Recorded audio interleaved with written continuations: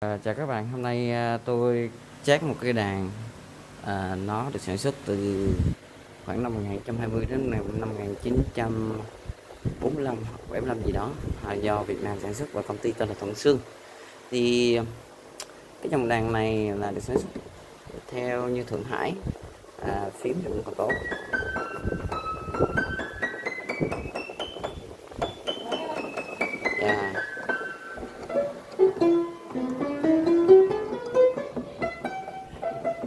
nó có vài vấn đề thôi.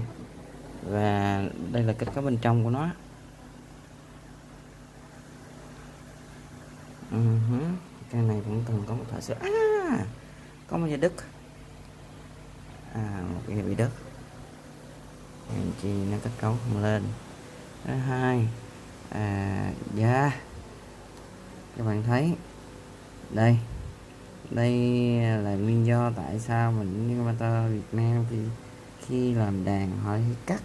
Ai cha tôi tôi không thích cái vấn đề này. Tại vì họ cắt như vậy thì thì làm cho mất giá trị của một cây đàn đi. Mất giá trị cây đàn rất là nhiều. Và còn đây phần xương à, các bạn thấy không? Cây này được sản xuất tại Việt Nam. Chính xác sản xuất tại Việt Nam và cái hãng này đã thúc truyền từ rất là lâu. Ngày xưa thì Hòa Chảy à, chúng Hòa Chảy thì rất là nổi tiếng ở Việt Nam cũng từng là một nhân viên kỹ thuật của hãng này. Uhm. Chà, có nhiều vấn đề để mà check cho một cái đàn này. Ok tôi sẽ check cái vấn đề này sau. À con ốc này con ốc này là bắn là bắn chốt chứ không phải bắn chết.